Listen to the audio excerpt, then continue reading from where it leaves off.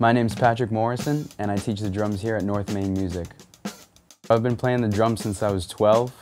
I started taking private lessons and in high school I was ranked the top drummer in New Hampshire Jazz All-State Music Festival. Since then I went to college at SUNY Purchase where I got my degree in jazz performance. I've been teaching here at North Main Music since 2015. I'm pretty comfortable playing any style of music.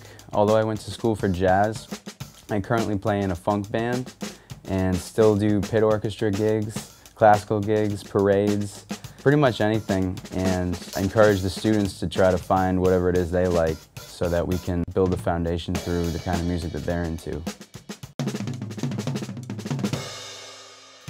I would say that the goal is to try to become as comfortable as we can with the instrument so that we're confident no matter what the ensemble we're playing with is or what kind of music if we're playing through a playlist, trying to get to improvise as soon as possible.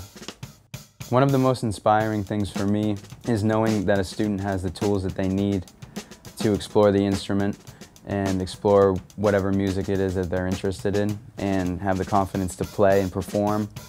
When we have our student concerts, we're able to see the students of all ages perform with confidence and have a lot of fun.